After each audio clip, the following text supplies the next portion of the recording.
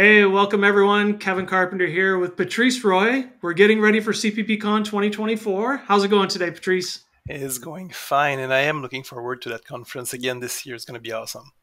I yeah, it's you know last year we had some good growth. I liked where we were at last year because we were downstairs, and it's just kind of you know just felt uh intimate's not the right word, but it's the best word I can come up with. You know, it felt well, cozy.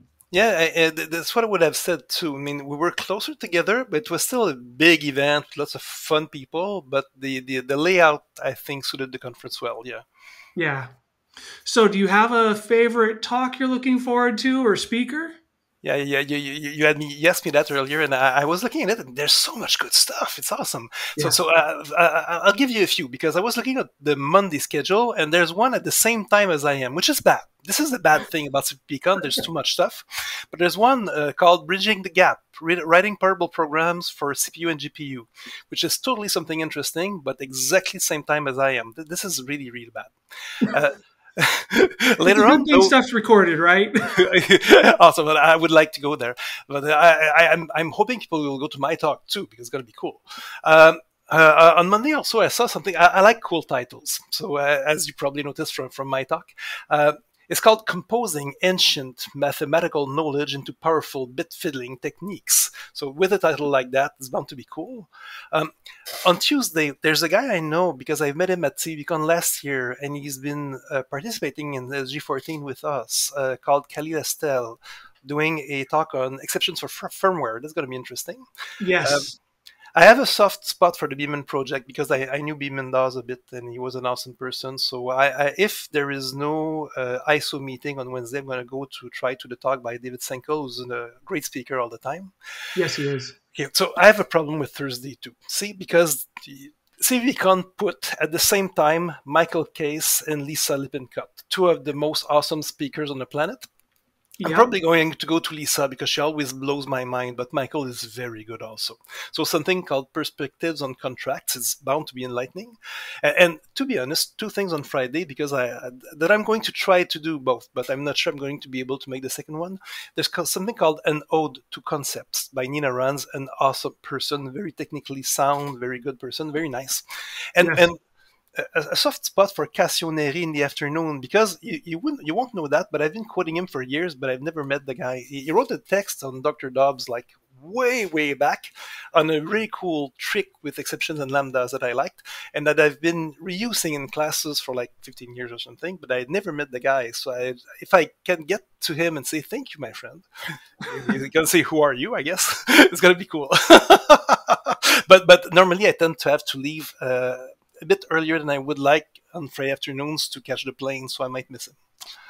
Yeah, it's it's funny because um, you know with all the other conferences I sometimes work and help with, yeah, Cassio, uh, I got to see part of his talk, and and David Sankel, you know, when they started the Beman project this year at C++ now, I mean, like you're saying, it's there's just so much good stuff this year, and so speaking of good stuff, you've actually got a class that you're teaching um, yeah. optimizing with modern C++ in 2024. So tell yeah. us about that because a class with you well, it's interesting. I think uh, uh, the, the, class was given last year too. The, the, that class's uh, inception came from a, a, request by a game company I often work with. It's uh, Eidos in this case, because I, I, work with game programmers quite a bit, and, and they said we would like something on how to optimize code in a portable manner. So use the language better to get um, better results, better returns out of it uh, in terms of how memory is organized, in terms of of, of uh, how to profile stuff, how to find the places where it's gonna hurt in my code, how to uh, make the code smaller, faster, more deterministic, and so on and so forth. So I, I, I, built that class for uh, that company, but I first gave it at CppCon last year because mm-hmm. schedule wise, it just fell there. Uh, we had fun. I think it was a cool class, really. Uh, and um, after that, I got to give it to the actual uh, games people. I gave it a few times. It was a fun class to give. And I said, why not give it again this year? So we'll see. Uh, I've been giving classes at CppCon since 2016 every year, if I'm not mistaken. I've had at least one, sometimes two. And I'm hoping the run continues because it's a lovely venue and I meet great people there. So I have to. I'm I'm kind of curious. I know that it, you know modern C in 2024, but how how when we look at the versions of C do you end up covering like how you can do performance and modernization whether you're in C 17, 20 or 23 or is it mainly just the newest? No, no, no. Uh, the uh, my baseline is C++ 17. I make sure that my stuff runs there most of the time because uh, lots of engines that my uh, usual customers uh, have been using or are still using uh, are limited to C++ 17. Mm-hmm. There is a growing part of the community that uses 20, so I do use 20 in my my class. I give glimpses of 23 all the time because it's so much cool to see the new stuff. But I make sure that most of the stuff runs on 17 and if i give 20 specific stuff i try to have a backup uh, yeah. for those companies who don't go there.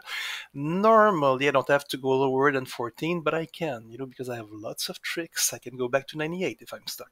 I, I, I even have one example that i've been building over years that i know runs for c++ prior to 98 because i've had to use it in an airplane system recently. So yes they used a very old compiler. so the good part is whatever compiler someone's using, for the most part, they're going to find they're going to find some gems taking the class. Because I'm old enough to have tricks. yes. well, and and so and if when everyone's done taking your class, because if you're coming to CppCon, you you know to get training, I have to say this like this is probably one of the most cost effective ways to get training from a trainer because to come to the class is far cheaper than than bringing you into i mean please hire patrice to come into your company and teach you know?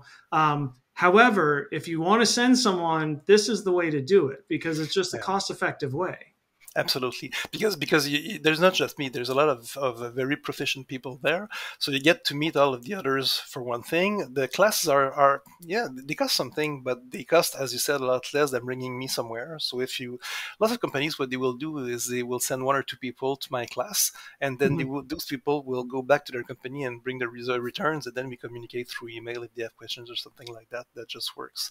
So it is an effective way.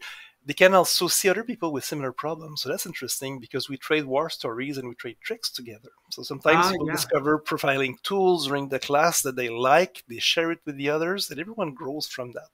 Yeah. Uh, they, the, uh, the, the main thing about these conferences is the people. I mean, they're bright people with real problems, so the discussions are very. Um, interesting, friendly, enlightening. Everyone gets out of these classes better and happier, I would say. So you know, as you were talking, you've had lots of time helping teach at game companies, which leads me into the segue of many ways to kill an orc or a hero, which Absolutely. has got to be the, for me, it's the best title at CppCon. and that's not that's not saying much because there, there's so many good titles. It, I know. talk. I have to be honest. I have too much material for this one because I tried it with the local uh, users group uh, two months ago. yeah, it was at the high frequency trading firm. They they were hosting it. Lots of people in the room. It was a cool crowd. Uh, I've been teaching for lots of years, so I knew yes. about half of the people there because like students they, they, they come back from time to time because they're, they're happy to see me. That's cool. Um, so i gave that talk. Lots of reactions lots of interaction because it's the kind of talk where people can stop me anytime. We, we just chat we react. It's it's written or built in a way uh, to make people react ask questions and disagree with me. So it's kind of cool.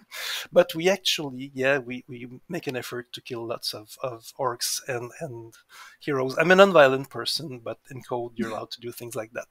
so ways to make it fast. Uh, it's, it's, not an optimization uh, optimization uh, talk. It's a talk on ways to do things. So various approaches to your software to solve this little problem, which is an excuse to make something fun, of course, uh, with actual uh, art getting pictures.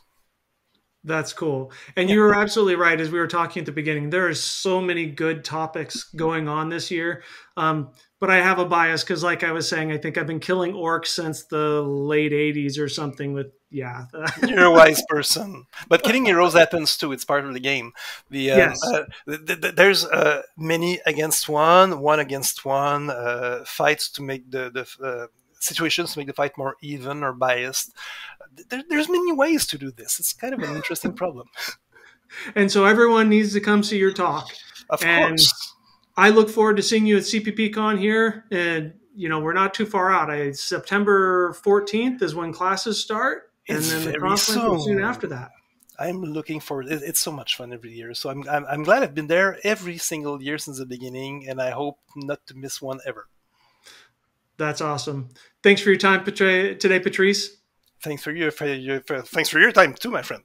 I will see you in Aurora. Bye bye.